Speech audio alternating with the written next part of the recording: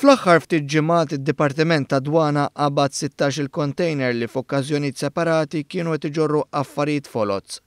Il-qagħda ġeografika ta' Malta tagħmilha aktar suxxettibbli għall-kummerċ illegali, speċjalment dak li mill-kontinent Afrikan ikun indirizzat lejn l-Ewropa. Għaldaqstant ħidma effettiva u kkordinata hija essenzjali biex tindirizza din it-tip ta' attività illegali, kif stqarr l-Uffiċjal Għoli fi ħdan id-Dwana George Agius waqt li kien qed jieħu sehem fil-programm One News Breakfast. U naslu f'konklużjonijiet li nagħżlu l-containers li jidhrilna li rridu niftħu fiżikament.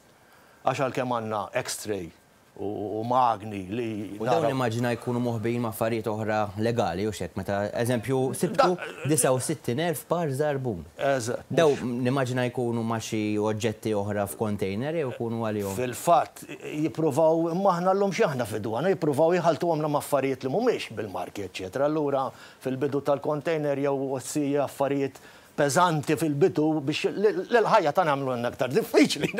Konxju mill-bidliet li saru tul is-snin fejn jidħlu prodotti foloz, George Agius jgħid li l-komunikazzjoni bejn diversi entitajiet lokali u anke m'operaturi barranin hija essenzjali, speċjalment meta wieħed jikkunsidra l-mod intelliġenti li bih qed ikunu mmanifatturati dawn il-prodotti. L-affarijiet foloz m'għadhomx bħal ta' dari li tinduna inti l-prodott illum kultant. Imitations perfetti. Eżami forensiku jagħmlu għax inti sa tippreżenta l-kawża l-Qorti irid ikollok l-evidenza, ċ-ċertifikazzjoni. Spjega wkoll il-mod li bih jinżammu dawn il-prodotti, kif jittieħdu kampjuni u l-mod li bih tingħata notifika lir-rappreżentanti legali tad-ditta konċernati.